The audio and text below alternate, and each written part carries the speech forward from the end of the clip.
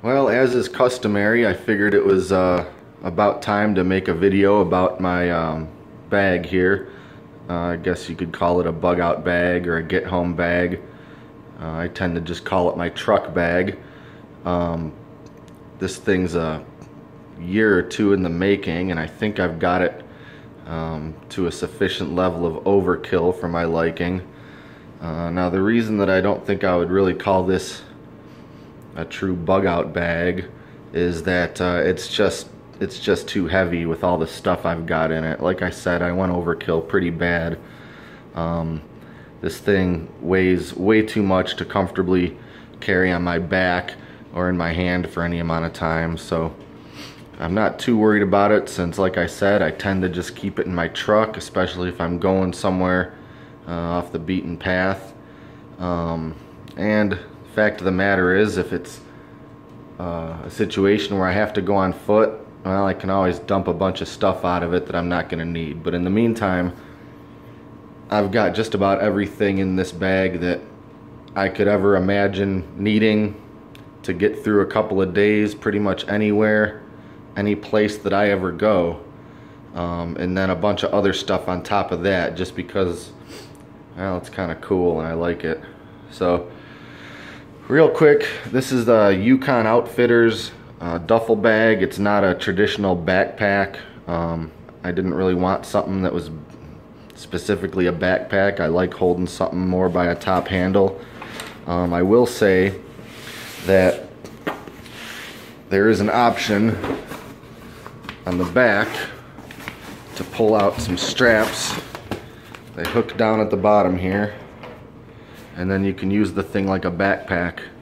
Uh, I'm not so sure how strong these straps are going to be. I've read mixed reviews on them, but this thing wouldn't probably be very comfortable to wear on my back for a very long time, even if I dumped a lot of the weight out of it. But it is an option. If I really had to carry something else while carrying this thing, I guess I could wear it like a backpack, but generally I don't do that, and I just hold it by the, the top handle. It's also got this strap, which considering these plastic clips and rings I don't have any confidence in this holding all the weight of this thing. So I'll open it up and show you what's inside. Now this thing's got pockets and pouches and flaps and compartments pretty much everywhere. And uh, I'm gonna have too hard of a time holding this uh, camera with one hand and really getting into here and pulling all this stuff out of here. So what I'm gonna do is just lay everything that's in this bag out on the table just to show you how much stuff this thing can hold.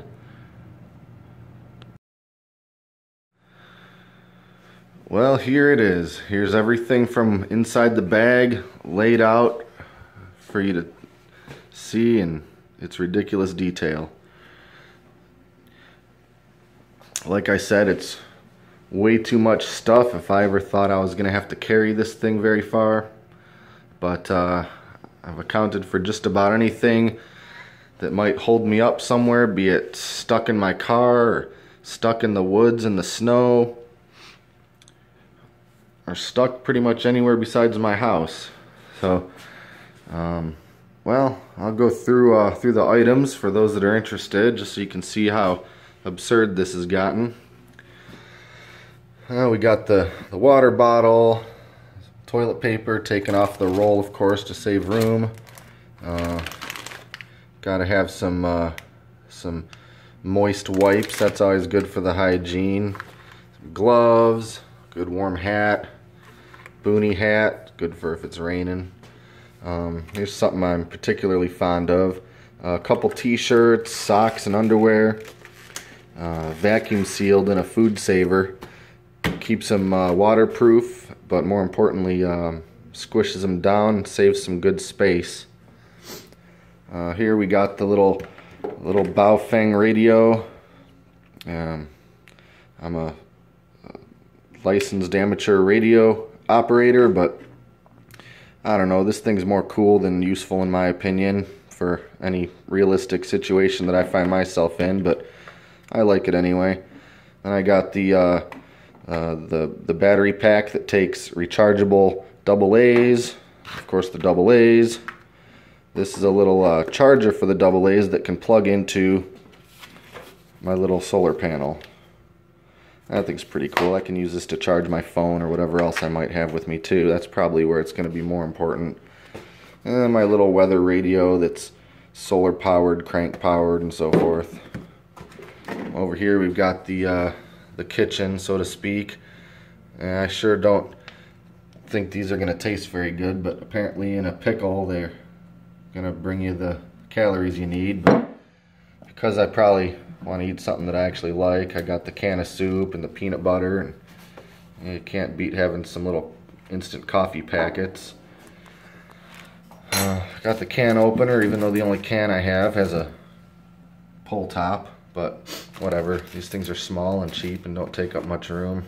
Got the little eating tool, which I tried out a couple of times and I don't actually care for much at all. So I bought the little the little kit that's got a knife, fork, spoon, and even a couple of stainless steel chopsticks. Uh, over here we got uh, hatchet out of the bottom. This little fire starter thing pulls out of it, although I don't know how useful I'm ever going to find that because I usually have an abundance of lighters with me wherever I go, including in this bag. But that's just an extra thing just in case, I suppose. And we got the cold steel knife. Here's a, a, a, pretty pretty handy little shovel that completely takes apart and and breaks down into this little bag. Um, this is one of those, uh, oh I'm sorry, this is one of those little handheld chainsaws where you grab it by both ends and can saw through a branch or something I guess. I'm not sure how confident I am in this thing, but it was given to me so I threw it in here. There's my compass. Got the multi-tool. Uh, let's see over here, we got the flashlight. That's pretty important. I gotta still pick up some extra batteries and uh, make sure that they work with my charger over here. Little headlamp. I don't know how much I actually want this thing in here, but I don't use it for anything else, so I thought I'd toss it in there. Got some Gorilla Tape, a small uh, roll of Gorilla Tape. Never know when that's going to come in handy. And I got the LifeStraw. Again, they were having a deal on these. I know everyone says that uh, these aren't the way to go because you can't put the water into a different container after you filter it, so I'll probably pick up one of the other ones that everyone recommends. Uh, the brand name slips my mind at the moment. Uh, up here, little camp stove. It uses, uh, it's got a, a, a, you know, an included little pot to boil water or heat something up. And it uses these little, uh, these little fuel cubes. And eh, from what I read, this box will give me enough fuel to boil at least, uh, I don't know, a few cups of water here and there. Heat up some soup, I guess. Um, this is one of those cheapy uh, foil sort of emergency sleeping bag blanket things. I never know what, what use that'll do, but barely weighs anything and it was just a couple of bucks. Um, I have a notoriously poor sense of direction, so if I'm outside of my normal sort of uh, stomping grounds, I'm gonna need a map. So I got a nice laminated map of all the highways in my state. And uh, I also don't see that well so the magnifying glass is gonna come in pretty handy especially if I don't happen to have my glasses with me. Up here we have the the handgun. Of course that's usually on my hip so it doesn't really hang out in the bag but for the sake of the video I figured I'd stick it in the holster that I carry in the bag. Spare box of, of uh, ammo a couple of spare magazines. Here we got my little watch that hopefully I'll have something to actually set the time on this thing before I need to use it because I never use it. But uh, it's got one of those uh, kinetic motion deals, so as long as I keep it moving, it should keep the time, I guess. I don't know. It's a paracord, never know when that's going to come in handy. Got the first aid kit. This thing's got just about everything in it that I could need short of a field surgery. Uh, and I added a few other things in there, some latex gloves. It only came with a couple gloves. Here's a little emergency sewing kit. Pretty cool, it's only a few bucks. This was one of those little uh, emergency fishing kits, survival fishing kit. It's just got a little bit of line and some hooks and um, in a pinch, I guess you could do something with uh, with it in a little river, a lake or something. We got the waterproof notebook. I always like to keep notes of whatever's going on because I tend to forget things if I don't. Um, here we've got another little little fire starter and emergency whistle thing. Someone gave this to me as a gift. I probably wouldn't have bought such a thing, but yeah, what the heck, threw it in the bag. This is the most valuable fire starter in my opinion. As long as you dry these out, you can get them wet, they'll still work, and get dirty, still work, and they're just so inexpensive. I, I stick one of these in every other pocket in that bag, and um, I don't know. I doubt I'll ever need any any fire starting beyond uh, one of those lighters, let alone all four of them and the two other fire starters in this whole mess. Uh, here we got a, a bag with uh, with some liquid things that I just absolutely don't want to ever break open or spill.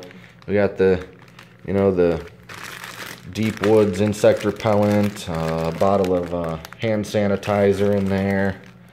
Uh, kind of hard to see, but I got the camp suds. It's always good to have.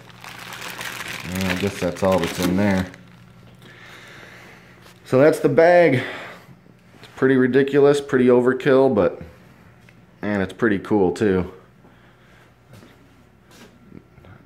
With a setup like this, I almost hope my car breaks down in the woods somewhere. Well, no I don't, but in the meantime, pretty cool to have anyway all right, I'm going to put all this stuff back in the bag and see if I can remember where everything goes.